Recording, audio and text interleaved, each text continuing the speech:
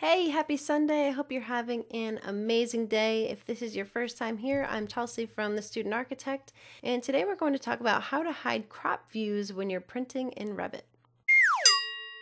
Okay, so looking at this floor plan here, you can see that it is indeed cropped. So what I'm going to do is hit Control P on the keyboard for printing. We're just going to print this particular view. I'm not going to check any of my settings here. I'm just going to hit OK. And you can see that I've already done a test print here. I'm just going to click on that to override the file. I'll say yes. And you can see when I zoom in here that it is indeed showing that crop region and that may or may not be something that you want to show. If it's something that you want to hide, I will show you how to do that. So I'm going to X out here and again, I'm going to hit Control P on the keyboard and I'll go to Setup this time.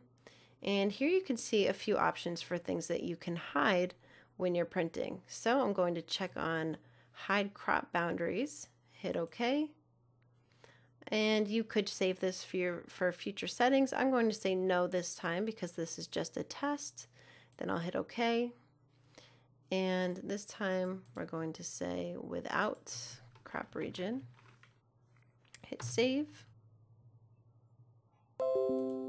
And here you can see the crop region is hidden. I hope you found this video helpful and if you did don't forget to hit that like button and if you haven't subscribed go ahead and subscribe. That helps YouTube know that you like videos like this, it helps my channel out and YouTube will give you more videos like this. I hope you have a great day and I will see you next Sunday. See ya.